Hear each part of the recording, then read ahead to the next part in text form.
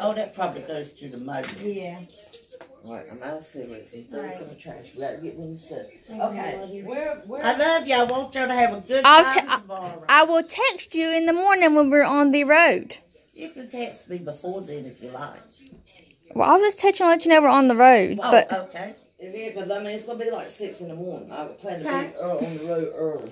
but That'd be fantastic. you'll get a message when we're on the road because I know you like that. Yes, And then we'll get to where we're going, I'll send you a message.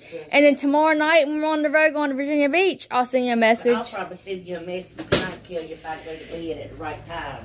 well, okay, well. Have a fun time. 7:31.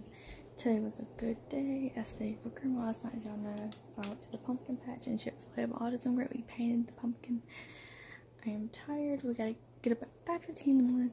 Got my clothes packed for tomorrow and all that stuff. Got my stuff picked out of my word tomorrow. We're going to Busch Gardens tomorrow. God, you already know that. And staying in Virginia Beach tomorrow night.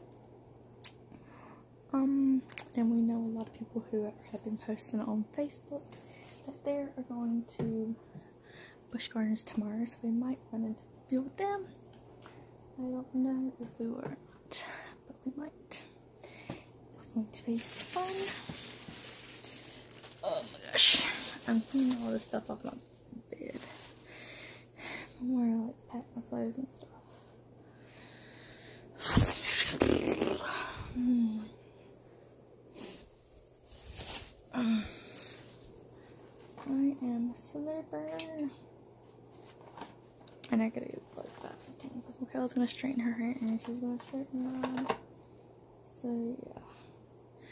But if you like today's video, big thumbs up, subscribe for new, leave a comment down below, and I'll see you guys tomorrow. Bye.